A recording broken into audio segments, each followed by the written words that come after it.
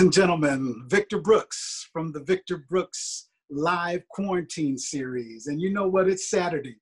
And uh, you know what time that is. Every one o'clock, every Saturday and Sunday at one o'clock, we are here bringing our, our, our, our message of positivity to the world the best we can. Um, and also, sometimes you may see us at three o'clock or sometimes later. Just keep watching for the promos, you know. But for sure, every Saturday and Sunday at one o'clock Pacific Coast time, um, uh, you, will see us here to uh, welcome artists from around the world. Um, you know, I, have learned in my, just had my birthday on the 14th of May. So in my 55 years, I've learned my lane, you know, and my lane is to just bring the artists that I love and I respect. And we tell our story of positivity and our message of positivity uh, to the world the best we can. And you've heard some incredible stories, you all. And, and I just want to put this pin in, you know, um, you know, that just be, our, our moniker, our, our message of positivity in no way is trying to ignore the seriousness of what the world is going through right now. All of us are experiencing some things that we never, I, and I know for myself, never would have thought um, in, a, in a million years that we'd be dealing with. Um, through our families, through our, our, our friends, uh, even when we watch, you know, the media or what have you, we, we, we never thought that this was going to happen. But you know what? Through it all, as my, my big brother Andraé Crouch wrote a song, Through It All, back in the day, he was right. You know, through it all, there's always something to be that we can be positive about. We can find something to smile about, whether it's during this time of quarantine, calling our family members that we haven't spoken to or, or been in contact with in a while, um, friends that we can just call and check on, you know. Um, and, and, and, and even out when we're out in those times where we're take the time to go to the store and then hopefully come on back home. You know, it's still something about that distance. Six feet, you can still see a wave, you know? Six, ten feet away, you can still see a thumbs up, spreading positivity the best way we can. And, um, you know, I always like to, to give acknowledgement and respect to our first responders, our doctors, um, our lawyers, uh, um, our, our nurses, um, our uh, ambulance drivers, our police officers, um, EMT workers, our sanitation workers, you know, our, our, our, our merchandise truck drivers that when we do go to the store, there's food there that they've provided for us through their, through their, uh, through their work and, and reaching out. Um, uh, my, my, my heart goes out to the family members who have been affected directly from this uh, time, you know, either through unfortunately death or illness. Uh, my prayers are with you um, I believe in praying for the world, you know, I really do. Um, from my own little way, you know, just giving it back as best we can. Uh, but I also want to give smiles and, and, and praise to the ones who, who have come back, who are, who are getting better, who are finding their health back in a lot of ways, you know? Like I say, we're all in this together, y'all, and we're going to be okay. I really believe in that. Um, and you know what? Today is uh, like like like we bring all of our guests in who take the time out of their schedule. And just because we're on quarantine it doesn't mean that everybody's life is just stopping you know? There are some people who are still doing things to uh, to in their daily life and and it just humbles me. And i'm so thankful for the people who've given their time to come on the show and uh, and talk to me so we can talk to you uh, and present our message of positivity. We talk about their journey. We talk about their life, you know, and and and hopefully we always bring it around to a positive message for you, for all of us. And today, ladies and gentlemen, you know, it's a special day for me again, again, because um, I'm going to use the word in honor. It's an honor. Um, not just because of this person's uh, artistic accomplishments in the world of music, uh, his groundbreaking, his his his gate knocking down, you know, through his hard work and his dedication as an artist. Not just because of that, and you're going to hear that story, but I had the opportunity to first meet this gentleman through my brother from another mother, Zé Ricardo, here in LA. And you all know me and Zé's history from way back since 1996. And uh, when I first met um, Brother Moogie, is what I like to call him, uh, Moogie Canazio. But when and he'll be on the screen here soon. Uh, but when I first met Moogie, it uh, it was like a, it was like a family connection from the get go. You just know real people. You know you know good souls when you connect. And from that hello, it was on, y'all. And uh, just let me give you a little little insight here. You know, when we talk about Moogie Canazio, you all, we're talking about a Grammy Award nominee and winner in both Latin Grammys and the US Grammys. Um, we're talking about someone whose career has engulfed and encompassed some of the greatest Brazilian artists ever. Okay, when we're talking about Antonio Carlos Jobim, we're talking about movie, Moogie relationship. When we're talking about Sergio Mendes, we're talking about Brother Moogie's relationship. When we're talking about Ivan Lins, we're all the way, you know, and, and I'm even going to bring in uh, the work with George Benson right now, not just in Brazil, but Brother Moogie's artistry has reached the world. And uh, Sarah Vaughan, you dig Ray Charles. This is the sound this is the, the, the, the, that ear that when you hear that final product that many of us love when we say we put it on in our system, that engineering ear, this is what we respect and love. Ladies and gentlemen, I want to welcome to our show, Brother Moogie Canazio. Moogie, are you there, brother? hey, hello guys, I'm here. What a pleasure. Thank you. Thank you so much. Can you hear me? Hello? I can hear you, man. I can uh, okay. hear you, brother. And as y'all see, this is a fedora man as well. I love my love my top pieces, man. That's it. so so listen, man. Thank, first of all, thank you so much for you taking the time to do the show. It's such an incredible thing now in in times in which we need to, you know, to recycle our inner knowledge about everything. It's so good to have a source when you can reliable source like you to come and to to see your shows and to listen to your to your kind words and you know a lot of it I don't deserve as much, but oh, thank man. you much for inviting me to your to your party here, man. I feel you privileged. Got it, brother. You got it, man. Thank you. It's an honor here, man. And I I see the people are we call our our people who join us every weekend my positivity posse you know and this is these are the people right. around the world you know that are trying we're all keeping this thing together you know keep trying to keep the smiles going and moving forward moogie you are now in los angeles right yes and how long have you been here brother uh, i've been here well i got here in 1977 the first yeah. time 1979 sorry and then i left briefly for a few years three or four years five years and then i came back in 1988, and I've been here since then.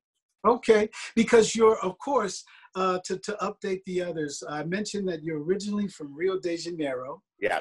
Uh, one of my, how do we call it? Cidade Maravilhosa. Cidade you know? Maravilhosa. Really, cool. Marvelous city, you know? And I remember the first time, brother, that um, I, I, landed in Rio. Myself and my, my brother Clifton Davis, we came to Rio in 1995. Wow. And man, I as soon as I got off the plane, uh, coming through the airport, and soon as I went outside of the airport, brother Moog, I swear I felt like I was coming home. And that was the first time I'd ever been there. I don't know what it was. I don't know whether it's just my soul excitement, you know, because in my house growing up, my parents that's where I fell in love with the Brazilian culture, Brazilian artistry. Growing up, when we we, uh, we all we we had the sounds of, of Tom Jobim, we had the sounds of Elis Regina. We grew up with that sound, and whenever Black Orpheus was on the, the Sunday night movie, the family would sit down and watch. Wow, it, know? so cool. Yeah. So, brother, why do you feel, or what is your interpretation of the power that the Brazilian sound has has done to the music world. Well, well I, I, I, um, I don't know. Uh, for me, uh, well, I grew up with that, so it's something that for me, I never actually had to do much effort to find the best Brazilian music because that was playing my backyard. You know, I was born. I was born and raised in Copacabana, And then in a certain point of my life, I started to be staying Copacabana. And the weekends, I would go to the suburbs, which where I think all my musical influence came from. When I put my first band together, you know, the people from the samba, Noel Rosa, Vila Isabel was the suburb in which uh, uh, my grandmothers used to live. So I had both combinations. I had the the coolness of bossa nova because it was exclusively Copacabana. You know, bossa nova was the the cool vibe of Copacabana, but I also had the real stuff.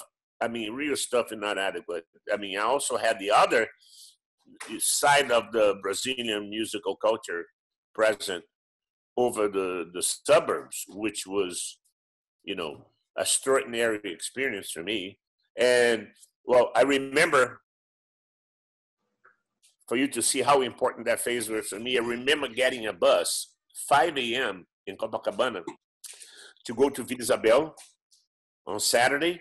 And then I will get there around 7, 7.15. I will gather with my friends in Vila Isabel.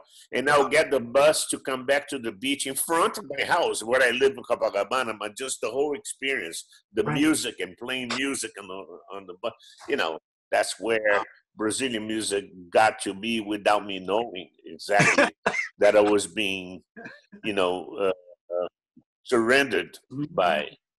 Wow, you use the word surrendered by so, it. That's heavy, man. That's heavy. What do you yeah. mean by?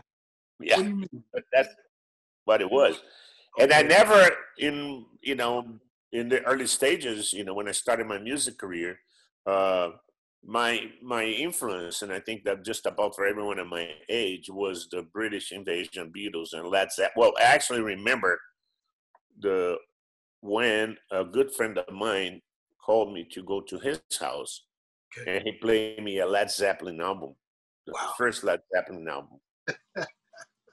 I think I was 13 years old or 14 yeah. years old, and I remember clearly, like if it was yesterday, Vic. When when we finished, I thought to myself, I know what I'm going to do in my life. I want to be with music. That's it. That's now it. I have to find where. Yeah. Yeah. So yeah. The the next thing for me to start, you know, actually, I was active in my home. Music was always extremely present. My grandfather was Italian, and his repertoire was a little more ethnic. Okay. It was a little more Peppino di Capri and opera and all that. But I got to tell you, that also was very helpful helpful on my foundation. You know, for yeah. you, when you do music, you you have mm-hmm. to you have to find love in every piece of work that you're doing, because if you listen to something to say, "Man, I I cannot relate to this," yeah, you cannot you you just cannot do anything about it. You cannot contribute because exactly. you know your heart is not into it. So there you go, brother. And you know what, Moog? That was what what you just said. That relatability to music, man, is you know, I mean that that is that's what makes that connection like you just said from the musician to the to the music lover the musician to the world you know that there's a connection there that people feel um, and that's why I'm wondering, Moog, like I'm when I gave my uh, journey of, of the respect of growing up with the Brazilian music in my life from my parents, I wasn't the only one, of course. There were millions around the world that here in the US, when that Brazilian sound hit our airwaves and on our television, what do you feel? What is it that we were connecting with, brother? Well, and still to this day. Well, I, I think I think that is a, a, a the, the, the, the essence of Brazilian music is extremely rich in every aspect. Uh, obviously, first of all, rhythmically speaking, you you get to uh, you get by, to be moved by a rhythm that is that is very cool, very yeah. good.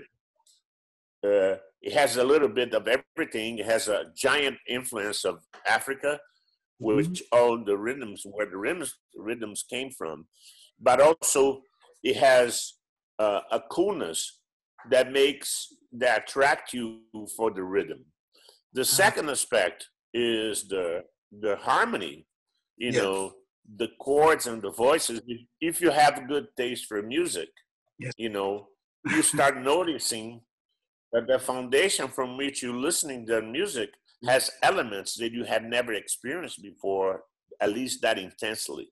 You mm-hmm. know, and then you hear say, man, you know, a, a lot of people ask me, Mimugi, I listen to some songwriters and I and I find out that there are chords that I didn't know existed.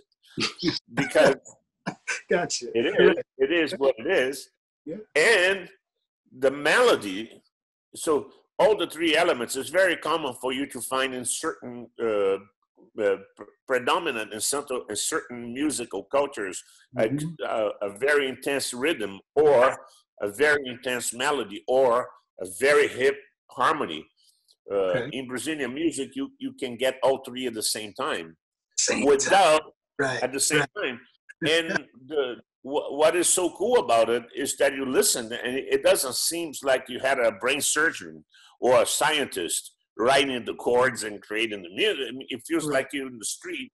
You know, you. I mean, I'm going to mention Ivan Lins now, but there's so many songwriters. You know, yes. you listen to Ivan Lins and you see him playing, compose. I had the privilege to produce three of his records, right. and and I, you know, seeing him, hey man, Ivan, Ivan, I think we need something uh, slightly towards this direction. He says, well, what about this? And he will write that on the spot. Right there. Yeah. there you go, well, brother. Zé Ricardo, Zé Ricardo, our friend, I usually actually mention his record. Yes. Uh, uh, because we had this wonderful, wonderful moment doing Zé Ricardo's record, and I remember that we didn't have the whole repertoire yet. And then he was staying with me here in my house, and I said, "Well, you go up the room. You only come down when you have this bridge ready. If you don't finish." And then he will go up in half an hour. He'll come back to say, "What was we had for dinner?" I said, "For you, nothing, because you have nothing. to work." Said, no, it's. Check it out. Said, okay. There you go. That's right. like, let me hear the bridge. you know, I was like, you know, we, we what you just mentioned there summed it up so. And I, am sorry about that, ladies and gentlemen. We have our our list and people are just lining up here with agreements and and shout outs and love to you my brother for oh, love to everyone. that you were just saying you know and uh, you know because i want to go back to growing up in rio you started as dj if i'm if i'm remembering correct and then yeah. drumming came into your life your love of drumming when you were talking about that no, no, it was the other way around. I uh, became a drummer. Okay, okay. And then, and then I had this band together. The only problem that my band sucked. It was horrible. It's okay. my band was really bad. Okay. but you knew you loved music. You knew music. Oh no, no, yes. I, I will say I'm not going to give up, but I, this route here, we I'm going to starve to that. So let me find something else to do. So I was already tuned in sounds and stuff. So uh, I I developed the project of the the sound system for a club in in Copacabana, the beach of Copacabana, okay. and I became a DJ because uh-huh. uh, okay. I, I wanted the things to, to sound awesome. Yeah. And back in the days, the DJs were not what we're talking about now. I mean, for instance, there was not even a mixer. I had a friend of mine that was uh, one of those, you know, mad scientists gotcha. who built a remote, small remote, small, small mixer so I can yeah. blend the music. Before used to be a switch. You'd be playing one record and then you flip a switch and you play the other one.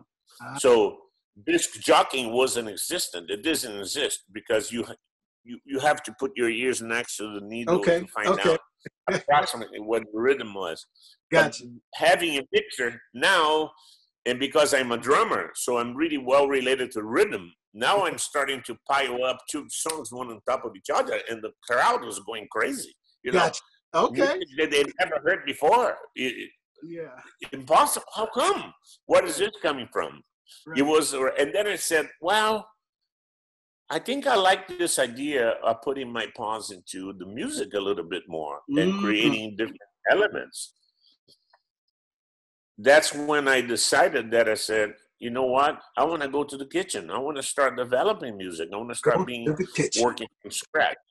Right. Because it was I was being I was having that re- immediate reward, the reward mm-hmm. of the crowd. You know, mm-hmm. before playing playing the band and all, all the stuff all my career as a as a drummer in the band it was so useful too because when i'm producing a record now if we get to a certain point of the music that i don't feel that is not taking off to where it should be yeah. uh, it, it brings me to the days that i was a band player band, playing that yeah. As you see the floor going away, right, right. I would say two bars in modulation. One, two, three, then we do a key change. There you go. To there make the go. crowd come back. That's right. Yes, because if you play and the crowd goes away, you're fired. You don't get the next gig. There you go, brother. I mean, come on, man. You just summed that up so so perfectly. Because that whole foundation that you just talked about, you know, it was finding that thing, that that thing that you were like, that's what I want and and and and, and brother, the, the, the truth of the matter is,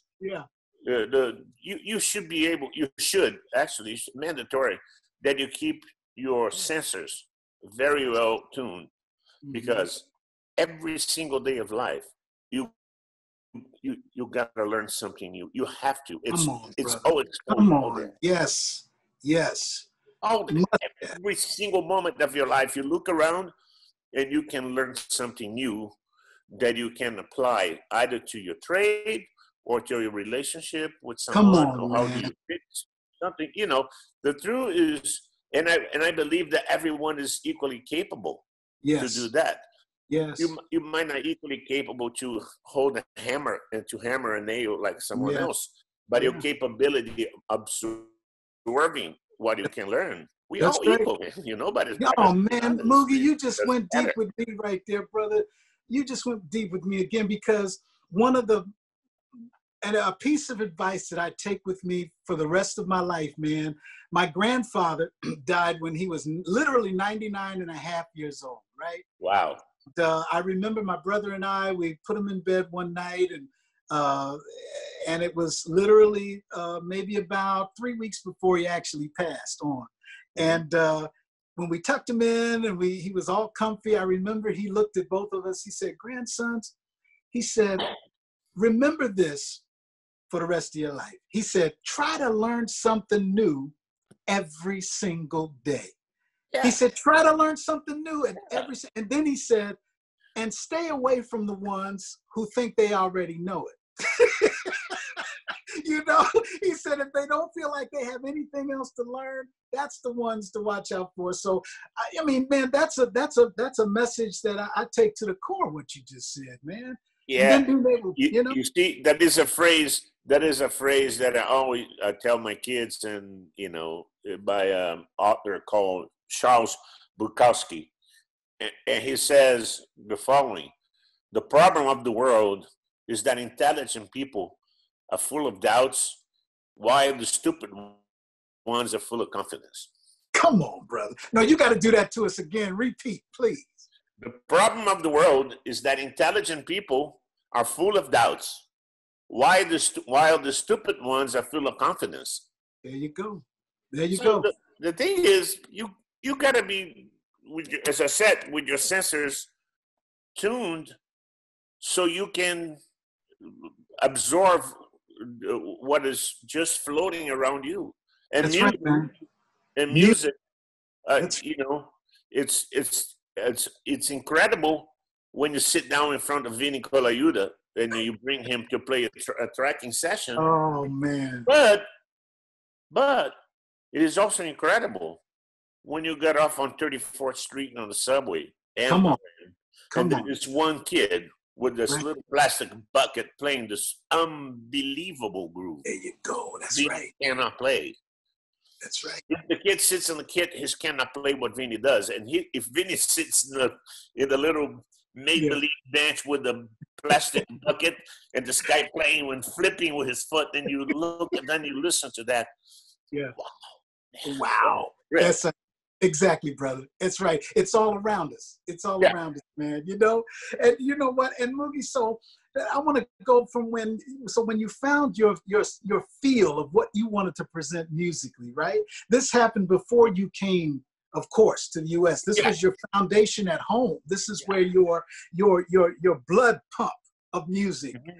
at home. You know. Yeah, exactly. So you brought, you brought your your your foundational blood pump is what I'm gonna call it here Yeah. to the U.S.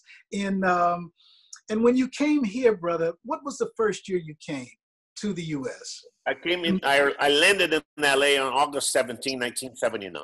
It was the second birthday of my son, the day of the birthday. So I put the bags in the hotel, me and my wife and my two year old son, which is 44 now. And we went to, to the Safeway. Safeway still existed here. Yes, This is Vermont. so we went to Safeway and I, we bought a cake and a couple sodas and we celebrated his birthday. And then the journey started. started. Mhm. When I Now got here, when I got Mhm. here, it was uh, maybe the first and the most difficult crisis in the music business because it was exactly when the disco music went down. gotcha. So, and disco music was just about the most, uh, you know, uh, predominant. So, Mhm. like, I think in LA, close to 300 studios closed just that month that I got. Wow. Wow. So it was really, uh, really uh, very difficult to get Gotcha. any gigs or to find a studio to work in. The industry was Right. depressed for that, but not not that that was not even enough to to bring me, you know, my my willingness of Gotcha. moving ahead. Down, okay, well, this is one more obstacle. So there's there's going to be more. So let's There get you go. this. That's right. That's right. and then just just just to see for you to see how much the, my first gig in LA, I was a a, a truck driver for a, a macrobiotic food supplier All right. in Culver City. Okay. I was driving all around uh, town delivering, you know, sandwiches and all that. But keep this. First of all, for me, the glass is always half full, regardless. That's always a good thing. Come on. always. That's right. That's right. Always There half you go. There you go. So back in the days that we didn't have Waze or GPS or anything, we had the Thomas. Remember the Mm-hmm. Thomas Thomas? guy, the big, thick book. That's right. Be- being a driver in LA helped me to learn the city, at least some of it. You know, I Mhm. used to do deliveries over in Gardena. You know, and we have to, be- and we had a window. We have to deliver in between two and three in the morning. So ah, we have to get there at one, and I would play dice with all the other truck drivers gotcha. Gotcha. and listen to their music because my thing was music. I was just trying to make my living. You know. That's right, brother. That's right. So when you're after the now, I know that when you in your first trip to or your first time here in LA in the US, now you started like some of the names that you started with, brother. Here, am I correct? Is like George Benson and Yeah, Chicago well- and REO Speedwagon. What what were this independent or were you with a label? What what was No, that? no, no. Back, back in those days, there was no such a thing as independent engineers or anything like that. The only way that you could get to record an album or to be part or close to it was uh, through a recording studio. Okay. Independent didn't exist. I think right at right before I left, one of the engineers that was working uh, doing a lot of René and Angela Yes. and that's right. Rufus and Chaka Khan in the Right, studio right, right. and, you know, uh, René Moore. Uh, he became. He decided to become independent right there. I mean, it was already. I was already leaving, so uh, I after you know driving around and stuff, I managed to get a, a gopher position at Kendun. Okay. Gopher is the worst gig you can possibly get in the studio, but I was really happy, man. I, I, was a go for myself, brother. I got you. I still have my coffee Yeah. burns. I think you're right. And then uh, right after I was promoted to runner. And then after becoming a runner, I was promoted to assistant engineer. And then from assistant engineer became staff engineer, Wow. which was uh, which was you know a very prestigious. Yes, come uh, on now. How old were you then, Lou? How old were you? Uh, I was 24, Right on, man. Right on. Yeah. but you know, uh, through this process at Kendun, Kendun was the top studio in the world. hmm basically. There was not a better studio in the world. And I got to be involved to sessions, not necessarily engineering, but sometimes I'm assisting to the top game, you know, of yeah. music in LA. Mm-hmm. You know, George Benson, Mick Jagger, and Michael Jackson, uh, uh, Quincy all the time, Chris Bennett, Rufus, and Chaka Khan. And yeah. The list goes on and on and on and on because the studio was really there was, was, a it. line of people trying to get time to work at Kendun. literally a line of people, you know, if, yeah. if you had to open at three in the morning, people come right. because yeah. the studio was such an incredible place. You know? Got you, brother. And yeah. then uh, it's a funny, a short, Please, funny story. Tell us in, yeah. this thing. I was I was working in this as assistant uh, yeah. with this artist called Barry McGuire. Barry McGuire wrote Eve of Destruction. Ah big, big name, big player, big amazing right. artist, really nice guy. Yeah. And they were Christians. Okay. So the engineer, uh, a guy named Ralph Osborne, great guy, amazing engineer, but he had a, had a, a habit of cursing. Okay. every, time he, every time he cursed, the producer had to stop the session and um, great. so after th- three or four days, yeah, he came to Ralph to say, "Man, uh, I'm sorry, but we're really behind schedule. You can't curse anymore. So right. because we, we can't afford it, we have to finish their album. Every time you curse, we have to pray and we have to stop the session. And then by the time you pick up again, you know that happened three, four times during the day. Right. And then, you know, it, it got it got to the point that we have an agreement with the front desk. Every time okay. the crew will come in, he will go to the corner of the room and he'll be cursing out all the words. but it, just let it him get help. it out, right? Just yeah, but, but it didn't help. So, so the first time that, that day that he cursed, the producer stopped and said, "Well, I'm sorry, we can we can afford to waste more time. So you need to you need to we need to find someone else. We love you, but we need to find someone else to finish the album because we just don't have the time. Yeah. And then he said, Well, Moogie, Moogie knows the record. He's a great engineer. He's right here. Why don't you? And I didn't curse. I, until the day I don't curse in the session because of that.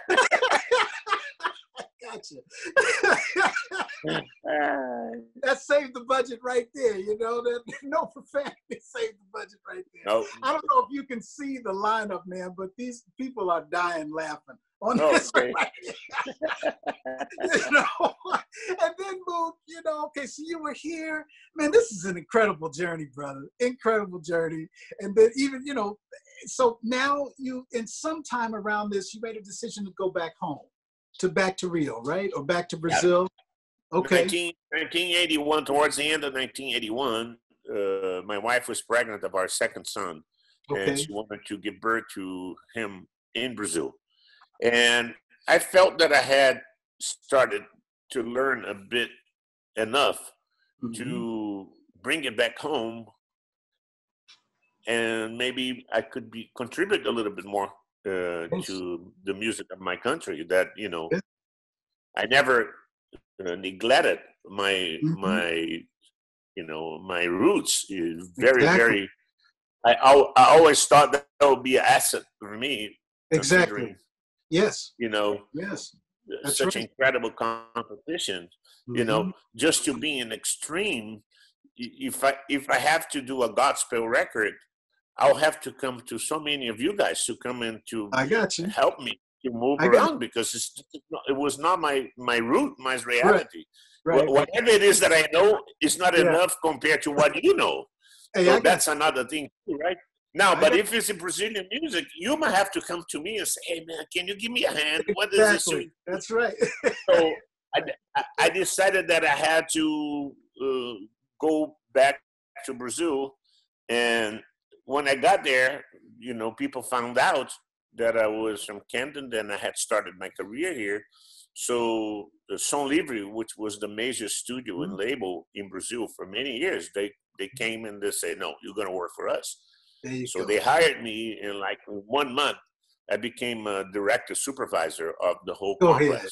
Go ahead, man. and Go.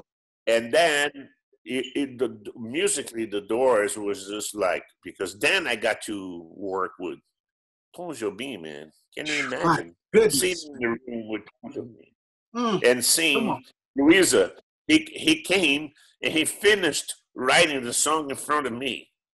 And Tom Jobim did. João, Tom Jobim, João Gilberto, in 1985, I did uh, Ivan Lins album, you know, Sede dos Marujos, an incredible album.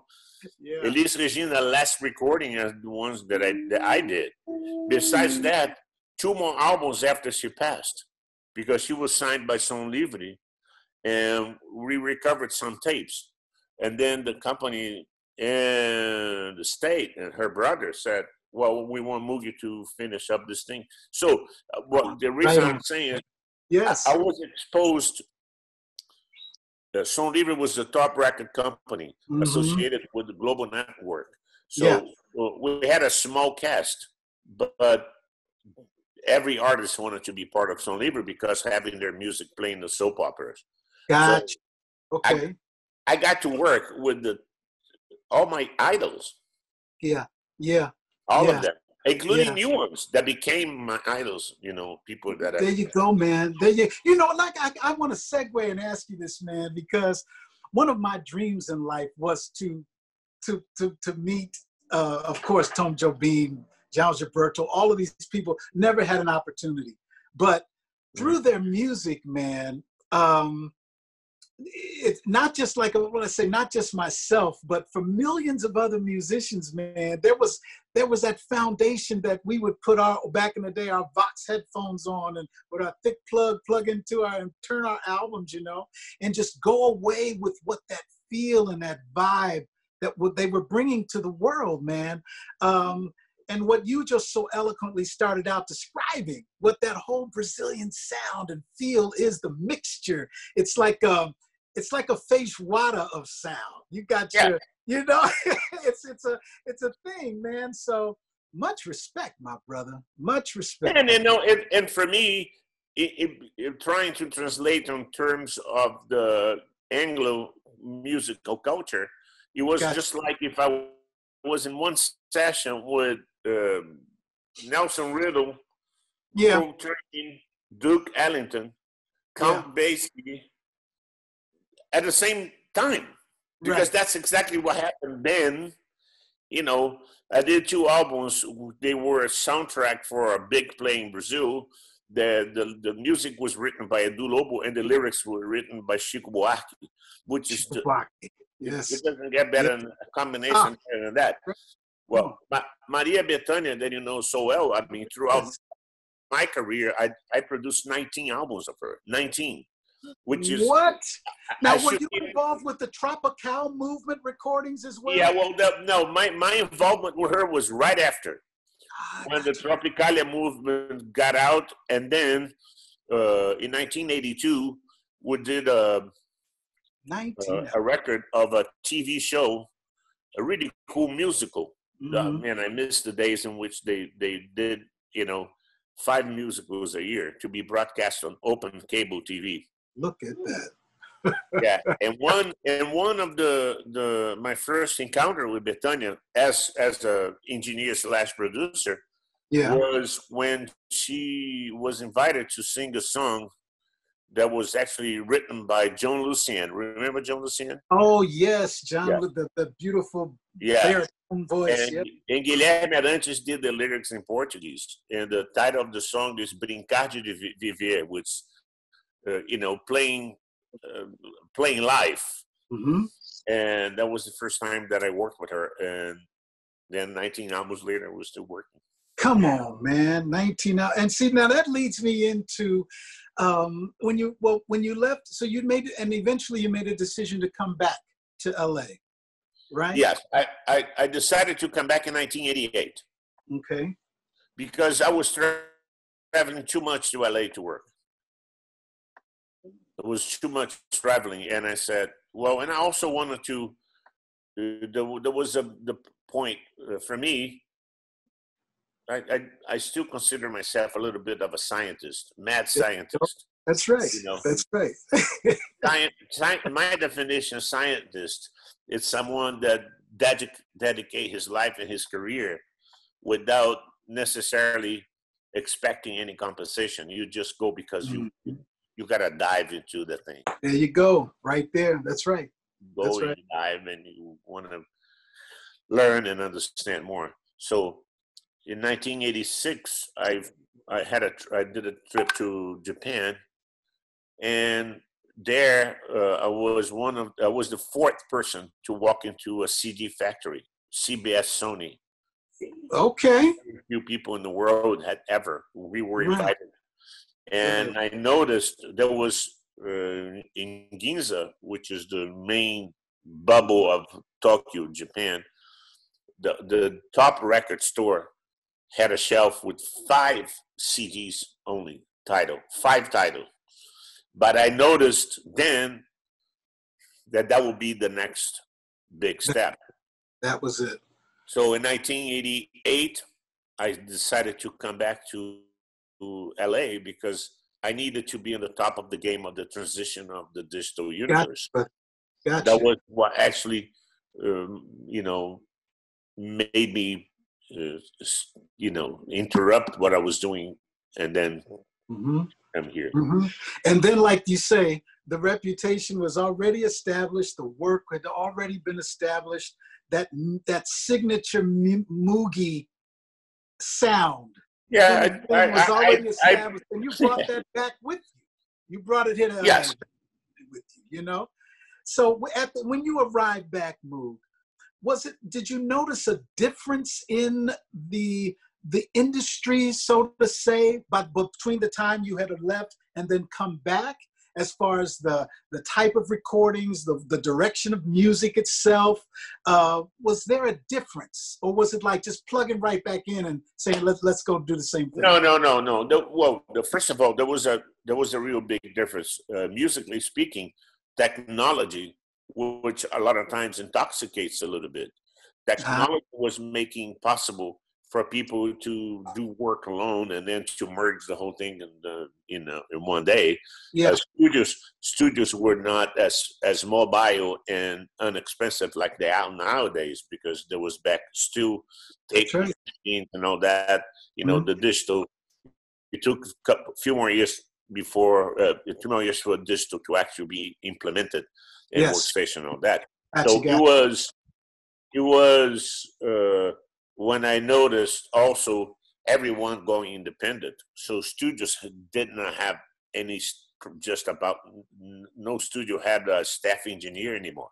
Okay. Everyone was independent. So gotcha. you had your own gigs and you hired a studio and you pay per mm-hmm. hour and you come, the studio will provide you with, with assistant engineer.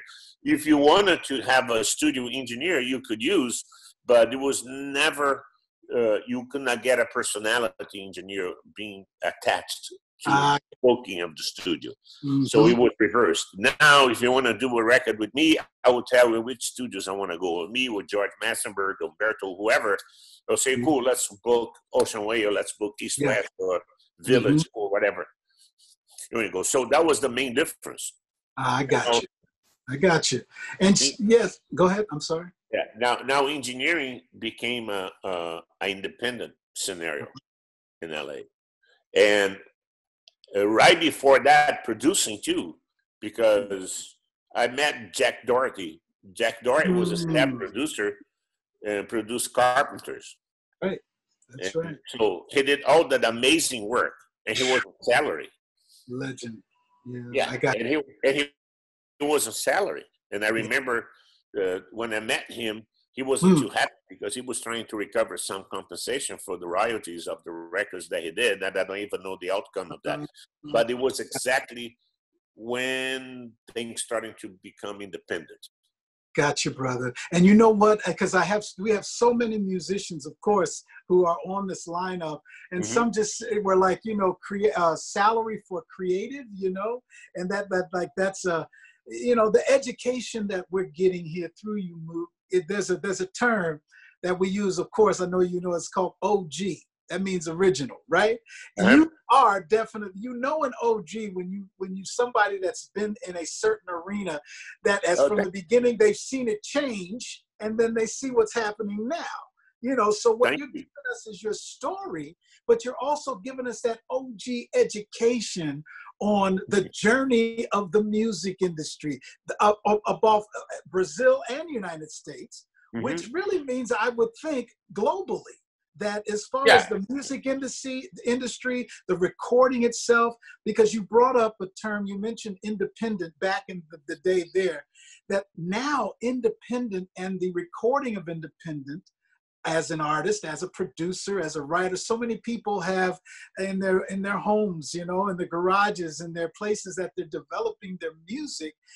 Um, in my opinion, I believe that there's a place, a huge place for the voice of the independent artist, the voice of the independent writer. But I also solely believe that, like I mentioned before, that I know my lane at 55 years old, that there's still a lane that seasoned professionals, such as yourself, such as my big brother I call Wayne Vaughn, who, you know, Maurice White before he passed, you know, these are people who, who I'm glad educated me on that, that ingredient of being open and respectful to the idea that the ears that establish the sound, am I, you follow? You see what I'm saying? That Oh, it's, it's still viable. Well, Ben, check this out. Uh, it's a team effort. Yes, exactly, Exactly. It's a team effort. You know, you just uh, let's just just to illustrate a little bit. Just step aside of the music business. Let's talk about cooking. Okay, You you can have the best piece of meat and the most incredible, uh, you know, vegetables and all that. Yeah. If you if you don't know how to cook it well, it's not going to be as good as if you bring someone that knows how to cook well. That's what he does. I and got you. then you give Mhm. that the amazing piece of meat and the vegetables and all that's going to make this amazing meal for you to eat. I think in in the in record making it's just about the same thing. Yeah. Obviously, I don't I don't promote people not pronouncing their artistry because they don't have the resources. You know, Mm-hmm. Yeah. one guitar and a vocal, and you play, and the music is out That's there. That's right. You you have to. That's But right. if you intend to transport that into a, uh, uh, to bring the attention to the whole universe, I got you. you have to surround yourself to people that know how to move parts to get to there. right. Because if your music is really beautiful, but your guitar is not in tune properly, or Mhm. when you sing, you didn't land the proper notes, and you don't Yeah, have someone that can tell, hey, you know, it's it is it's like you're not giving the best uh, usage of your talent. exactly. So I got the, you. the problem with the with with being so extremely independent is that also became, oh, okay, I do everything on my own, and that will be just fine. And there's so many records that people send me to mix, and I listen and I say, sorry, I can't do it because it's really Got you. not Gotcha. done right. You know, you have to go back and recut the vocals and be, Mhm. because it, oh, but now, but I, I, well, I didn't have enough resources to do in the proper system. Yeah, I understand that. I, I understand, but well, Mhm. maybe it would be better for you to stop and assess your losses right now, so you can then bring it to the point where it will be useful. Because right now, if you do it, it might, it might not take you anywhere. So Gotcha. you're going to waste a lot more of your time and your, you know, your assets to do it. So.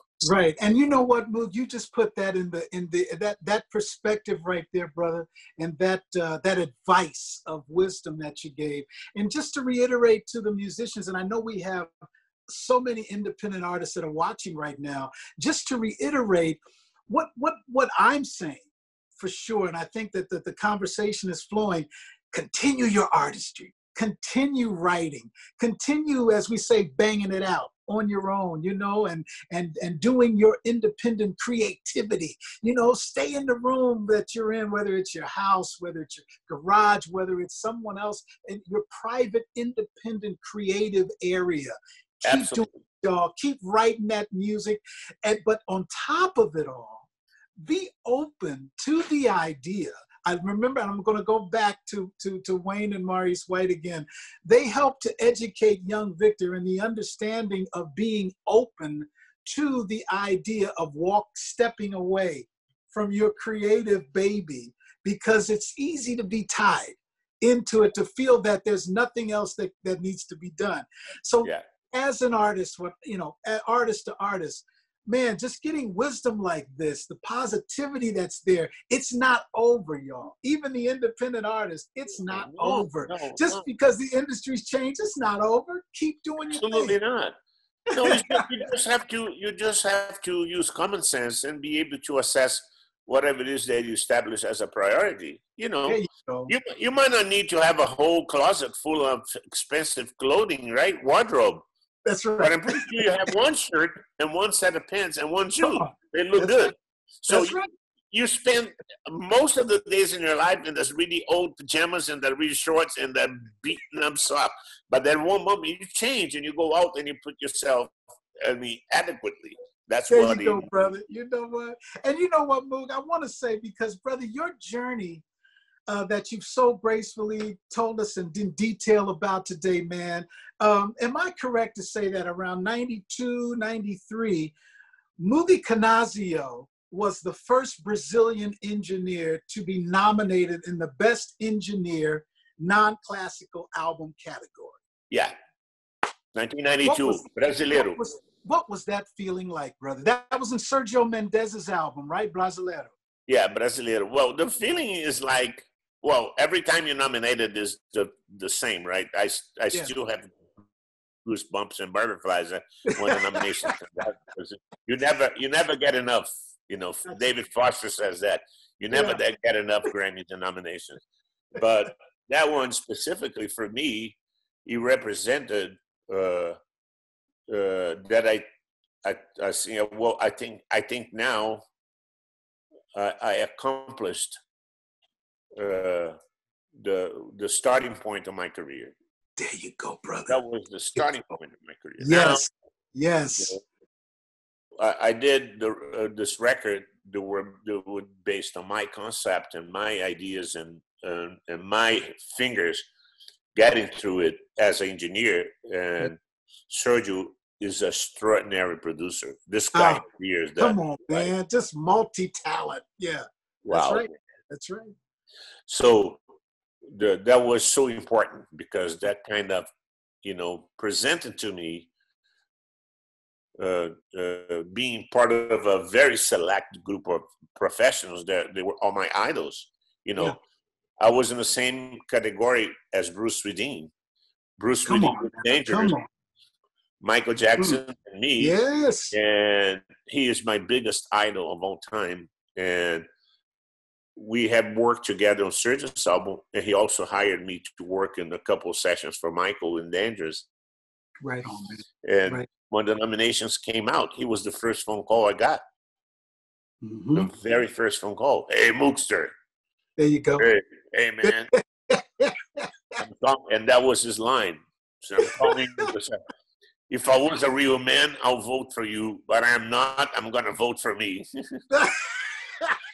and I said, hey, hey, Bruce, it's all good, man. But if I was a real man, I'll vote for you, but I'm not, so I'm going to vote for me. So we. so, I got you, man. so now imagine what represents, because I, I got to add this really quick. Please, People please. know Bruce Swedien yes. because of, of Thriller.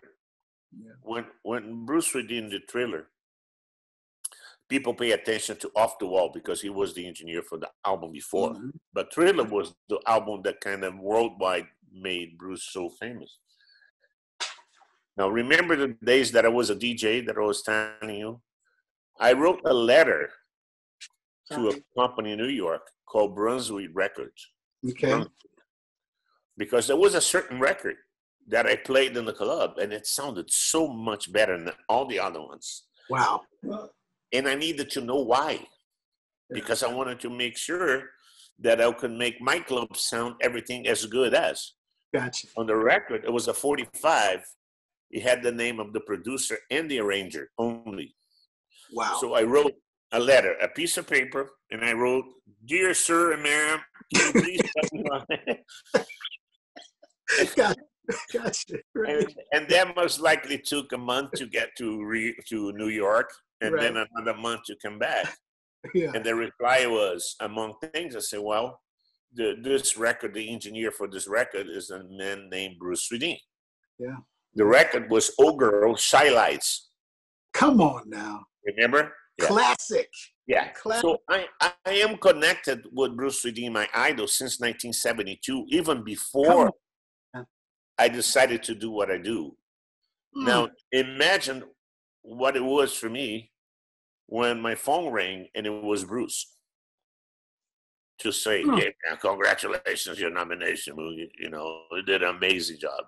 So, honestly, I couldn't care less for the results because I used to say you, you stay nominated for 45 days and you were winner of a Grammy for one minute because the next minute you're already in the next Grammy. So, s- oh, oh, just the privilege of have your biggest idol, Mm.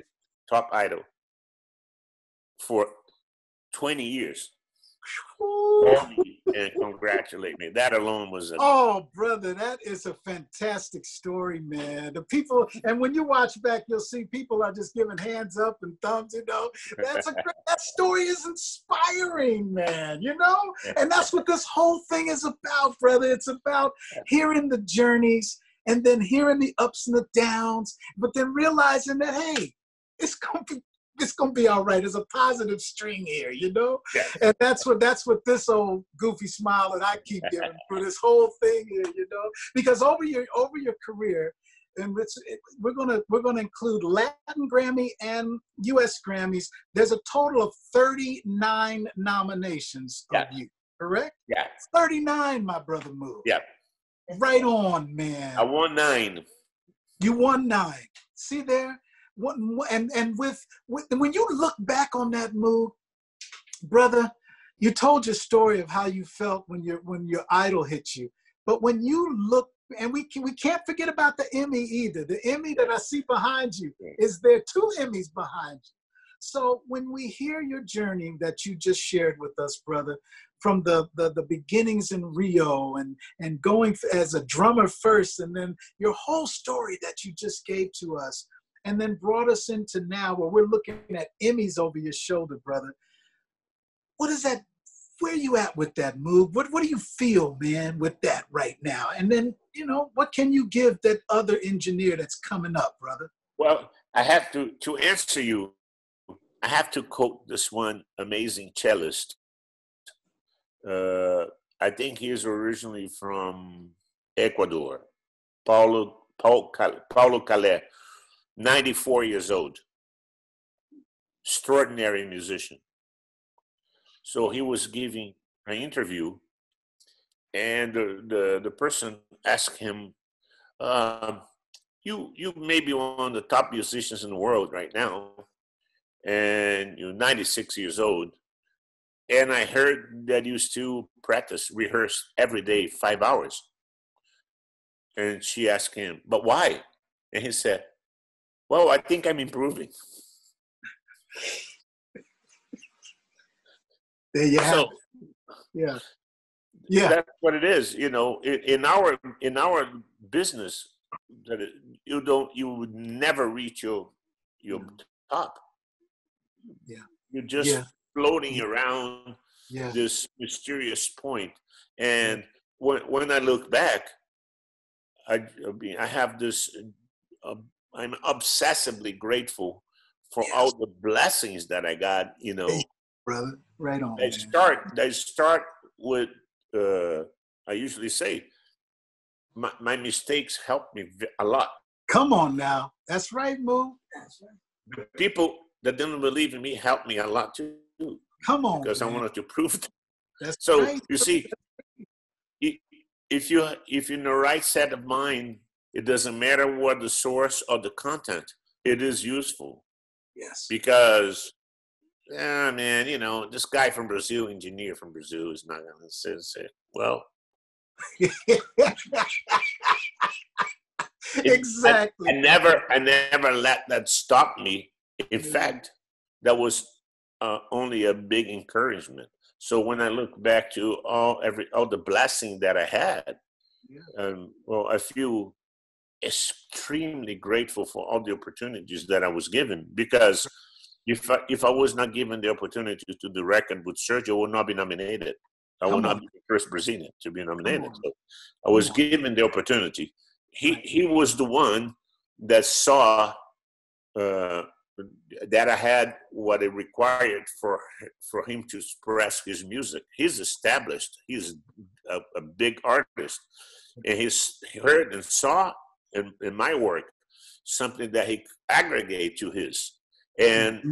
and i grabbed the opportunity like i do every record yeah. it's the most important thing for me at that moment because my dedication is is it, i'm fully dedicated to to the projects that i'm working because I wanted to please myself most than anyone else. I don't mix for anyone else. I mix for me when I'm mixing and I hear that little bell and I think, wow, man, this is where I wanted to stay. Fine, good. Yeah. And I'm passionate. If you come and start asking me stuff that I don't think it, it it's adequate as taking out of the music, I will pr- try to prove my point that we are in the right place, and that and that that applies for just about everything. When I'm recently, the last 15 records that I produced, I did all all all the records that I did live with yeah. guitar, all band and vocal. everybody singing and playing live at the same time right. because oh, that I is that. on that that is very pleasing to me. Powerful man. I really don't. I, it doesn't. It's not rewarding for me when you spend two and a half days on the kick drum and then two days on the snare. I said, "Listen, man, come on, man, preach." Come on, man. I'm 100% with that, brother. I, I was the other day, so funny. I was the other day, uh, uh, yeah. Brenda Russell, a dear friend, and I'm know, I'm sure you know. Oh, I yes. did an album with her, and she she used one of the tracks of the album that we did called the track is uh, "Walking in New York," uh, because she wanted to honor all the you know nurses and doctors and front first mm-hmm. responders in New York, mm-hmm. and said I'm going to dedicate this music. She posted, yeah, yeah. And I heard the music, and immediately came to my head uh, when we were tracking. We were tracking the NRG, and then we did two or three songs. Vinnie, Vinnie was the drummer. Vinnie Colaiuta was the drummer. Mm-hmm. Wow. And then Vinnie did his his three songs, and then the next song was a different drummer, and the drummer was Sheila Sheila East. Sheila yes. East came yes. to play the record on that oh, one song, "Walking in New York." So oh, what I, I did is I went to the studio and I moved the mics so they could yeah. take Vinnie Colaiuta kid and put her, and I just moved the mics back again, yeah. and she sat down right just to get a groove going.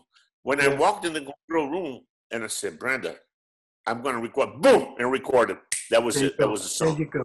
See Nobody that? even noticed that we were taking because the vibe was so. That's right. That's amazingly right. good. Come on, man. Come on. When it's right, it's right. When, yeah. when the feel is there, it's there. You know, um, Wanda Vaughn of the Emotion. She was uh, Wanda, and actually, that's Wendy, who's you met. That's her mom. And uh, she told the story of how when the Emotions recorded Stax Records back in the early 70s, what you just described is what she said was there, had to do. They had they, there's something about being all in there together, you know, and that feeling of of, of, of that that that vibe that comes out, brother. It, that's what's la- that's what has lasted to this day. You know, when it's there, it's there, brother. Oh man, ladies and gentlemen, I don't want this to stop. I don't want this to be over. And I know from, from, what I'm getting on this list, you don't either. You know, like like Moogie and I were just saying, when it's good, it's good. When that feeling is there, it's there. You know, you push that record button to let it keep going. It's undeniable. And uh, once again, Moogie, I just want to thank you for taking your time today. Thank you for brother. having me here, man. yes, brother. and telling us your journey, your story. You've inspired. You, uh, your your humbleness is um, is so real and incredible that I can feel that what I'm about to say, I'm just going to give it up. I got to give it up. But I know that, you know, it's a thing where, uh, you know, you, you preach to us. You, you gave us wisdom today. You gave support today. You gave positivity of your journey today, my brother. You told us your story. And I know from when you look back, so many people that have lined up to watch, it's helped so many. Thank you again. And, and you know what? Let my positivity posse, I'm going to speak to you thank you all for taking your time every single Saturday and Sunday to come and, and like I always say, come and get some of this positivity on you every weekend. You know, go swimming in the positivity, scuba dive in it, take a shower in it. And when you come up out your positivity pool and that little water's on there, flick it off on somebody else, y'all. Because that's how we share it. That's what we're supposed to do. We give it back and we try to do what we can do.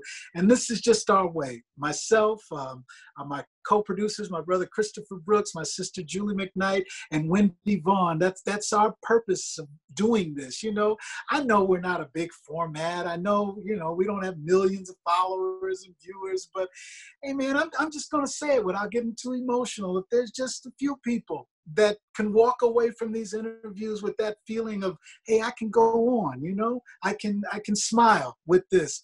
Then hey mission accomplished for us. You did that's all we're trying to do. I love you positivity posse. Thank you so much for all that you're doing on your own of um, of keeping yourself as positive as you can. And come on back with us today at 7 o'clock p.m uh, or to this evening at 7 o'clock p.m pacific time I have my brother from another mother, Zé Ricardo. I'm staying in Brazil today, y'all, staying right here, my second home. Um, uh, and I, he's going to join us today to tell his story, his journey. And we'll talk about uh, what you know we've done together, and, and, and, and just have a good time of positivity as well. Tomorrow we have Carolyn Griffey, my sister from another mister from Shalimar uh, being the daughter of Dick Griffey of Solar Records and keeping that story and legacy alive. She'll be here telling that journey and that story. Thank you so much again. I love you, and we'll see you next time on the Victor Brooks Show. Thank, Thank you, you guys. Thank you. What a pleasure. Thank you, Vic. It's so good to see you, man. You got it, brother. Love you, Moo. Peace. Love you too,